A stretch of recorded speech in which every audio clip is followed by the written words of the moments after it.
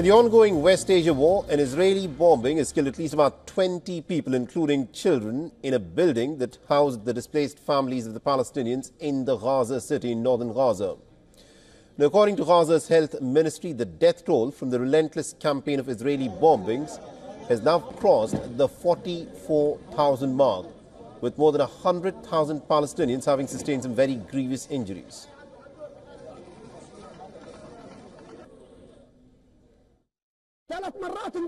This building has been hit three times, and every time people were massacred. Most of it was gone. Nobody was left. All of them are martyred today. A whole family has been wiped away. I swear to God, the whole family is wiped from the civil registry. Because of you, Israel. You killed civilians. Meanwhile, in Lebanon, Beirut residents are fearful of escalation as the Israeli strikes continue to hit various locations. About the negotiations, the Israelis are playing with us. The Israelis used to do this at the beginning in Gaza.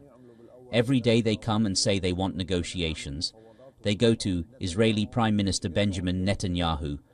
Then they come back and reject the negotiations we have been working on. The Lebanon's Baalbek region was pounded by the Israeli airstrikes on Thursday. Local authorities have said that at least about 47 people have been killed, while 22 others were injured in the Israeli bombings. The strikes also shook the Hezbollah-controlled areas in southern Beirut, and there were multiple southern villages that were also bombed by the Israelis. Lebanon's health ministry has confirmed that the death toll in this campaign of bombings by the Israelis has now crossed the 3,500 mark. Hezbollah has responded with some rocket and drone attacks on Israel, including some strikes on military facilities and an airbase in Ashdod.